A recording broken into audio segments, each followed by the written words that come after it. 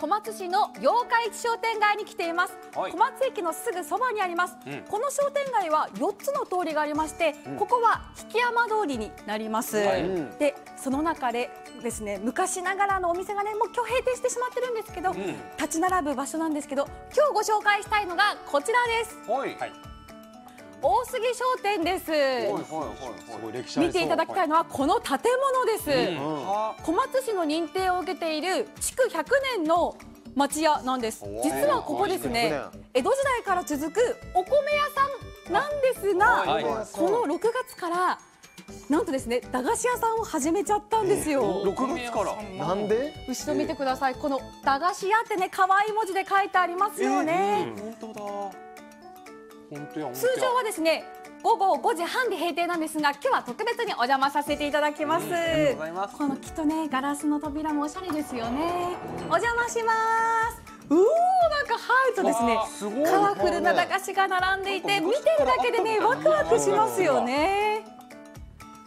で正面にはですね本業ということでお米ももちろん販売してますよでも。お米屋さんなのになぜ駄菓子屋さんを始めたのか詳しいお話を伺いましょう、大杉彩香さんですよろしくお願いしますあーこんばんは。で彩香さんはですね、えっと、9代目の旦那さんが9代目ということなんですよね。はい、そうです。はい九代目です。そしてその9代目のお母様がカウンターにいらっしゃいます美和子さんです。よろしくお願いします。お願いします。さあさらに皆さん気になってますよね。可愛いこちらにいるのがえっと彩香さんのお子さんのゆずはちゃん。はい、はいそしていちかちゃん。あ元気いっぱいあ、出てきました。隠れてた。そしてかなたちゃん。はいはい。あーすごいすごいすごいすごいね家族でね営まれ営まれているということで普段人でお店に立たれてるんですよあ、ね。はい、そうです。仲良くやってます。本当にさ伝わってきます。で見ていただきたいのがですね上見てください。え上？上？すごいですよねこの高い天井で、ね昔の作りそのまんまなんですよ。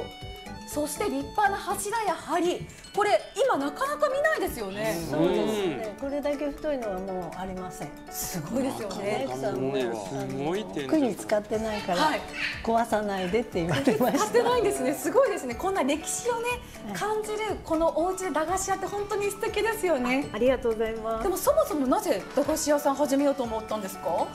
えっと娘たちがちょっと駄菓子がもうそもそも大好きで、はいはいこの辺にないなと思ったのがきっかけなのと、やっぱ近所の子が大きいスーパーまで自転車で行ってるっていうのを聞いて、はいはいえっと暑いですしねうん最近そうですね。あったらいいかなと思ってちょっとやってみました。そうだったんです、ね。はい。お母様このお話聞いて彩香さんから聞いて反対されなかったんですか？いや偶然ですけど、あの一年ほど前から。はいおお旅祭りとかどんどん祭りの時に、せめて駄菓子やったら子供さんが来ていいかなって思ってたところなんです。じゃあちょうど二人の意見が一致して始められたってことなんですね。そうです。ちなみに決めてからお店始めるのってどれぐらいの期間だったんですか？えっと一週間ほどで、一週はい。間、すごいですね。ありがとうございます。もうその行動力すごく見習いたいです。ありがとうございます。えせっかくなんでちょっといろいろあるおみあのあはい見ていいですか？なんかはい、もちろんです。はい、じゃあちょっと見てみますか。あはいはい。すごいですよね。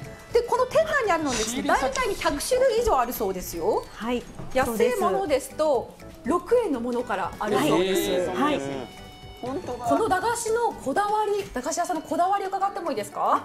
えっと一応懐かしいお菓子もそうなんですけど、はいはいちょっと最近話題の輸入菓子。あ、こちらですね。はいすごいカラフルで思わず写真撮りたくなってしまい。そう。ちょっと SNS とかで話題になってるものも、あ確かに映えそうですねはいそうですね。はい、入れさせてもらってます。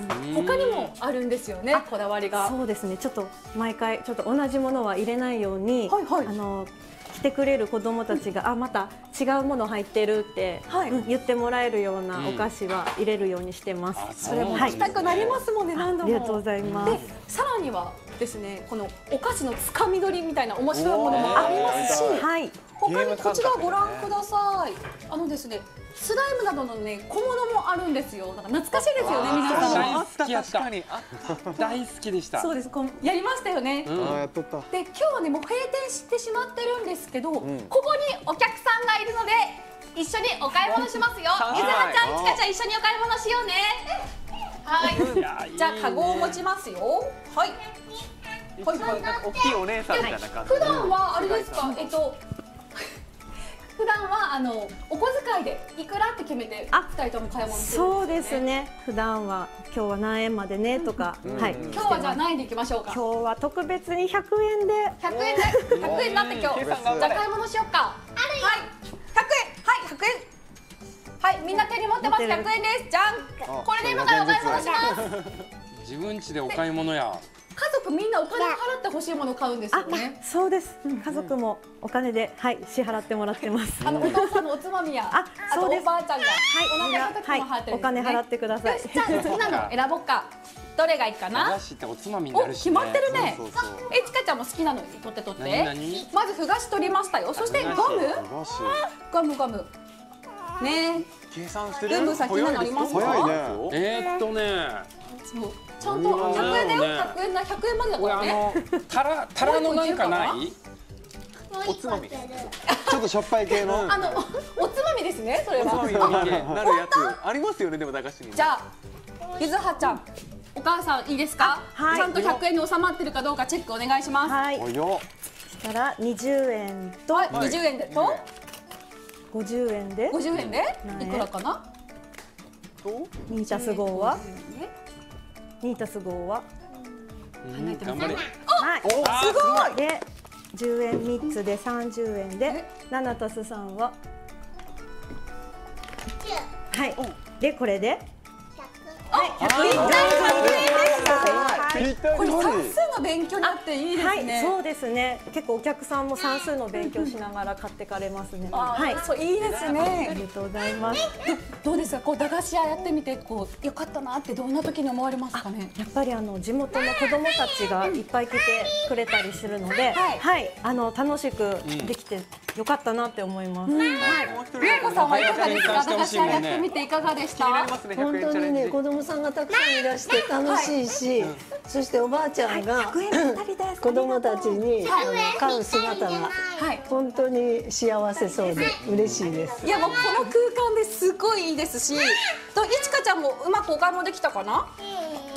まあできたね 大丈夫こうやってね計算もできてでもこうなんかこう絆もねどんどん深まってそうですねまた友達が友達を呼んでくるとかもありますよあります。あここにまたってた友達が来てくれることも結構多くなりました。はいはい。